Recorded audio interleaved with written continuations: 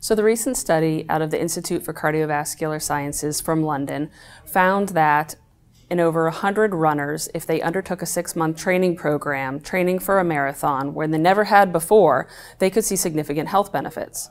These health benefits included a decrease in the stiffness of our main vessels in our body, as well as a decrease in our blood pressure. So, what the study demonstrated was that we can see improvements with overall cardiovascular health related to blood pressure and vessel stiffness, even with small amounts of exercise. Because actually, the subjects in the study only had about 6 to 13 miles of training per week. That's less than you would think for a typical marathon. So, you really can see the benefits of the exercise without running the full marathon race, but undertaking a regular cardiovascular program we see the improvements with cardiovascular health with even a small amount of exercise.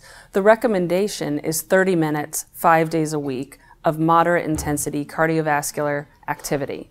To define moderate intensity, we often recommend the sing talk test. You should be able to talk to whoever you're running with, but you shouldn't be able to carry a tune. While this study did look at runners, another encouraging aspect was they saw the majority of the health benefits in the slowest runners. So what we can see is actually that you don't have to run to have the health benefits. So if your knees won't let you run or your back won't let you run, certainly even just starting to walk on a regular basis at a brisk pace, you can reap the health benefits.